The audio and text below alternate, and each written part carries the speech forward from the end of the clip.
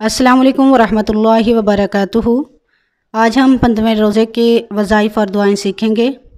اعوذ باللہ من الشیطان الرجیم۔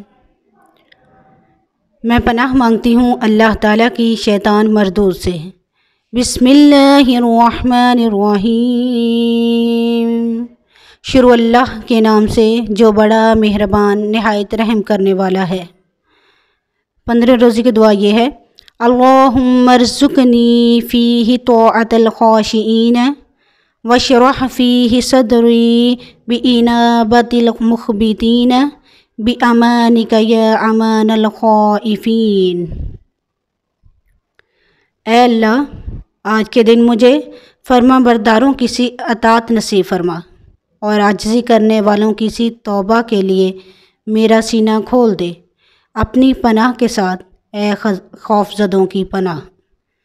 اب پندرہویں روزے کے وظائف بتائیں گے۔ بعد از نماز فجر، سورہ فتح تین مرتبہ پڑھیں گے۔ بعد از نماز ظہر صلاۃ الحاجات، چار رکت نوافل ادا کریں گے۔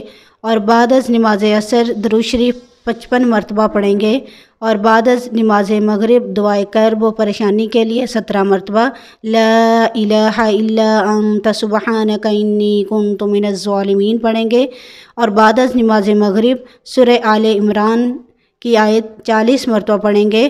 کل اللہم مالک الملک تؤتی الملک من تشاء وتنزع الملک ممن تشاء وتعز من تشاء وتذل من تشاء بیدک الخیر انک علی کل شین قدیر میں دعا گو ہوں کہ اللہ تعالی ہمیں ان وظائف اور دعاؤں پر عمل کرنے کی توفیق عطا فرمائے۔ ان دعاؤں اور وظائف پر عمل کرنے سے ہمارے لیے آسانیاں ہوں گی، ہمارے گھروں میں برکتیں ہوں گی۔ اور اچھی بات کو شیئر کرنا بھی صدقہ جاریہ ہے۔ جزاک اللہ۔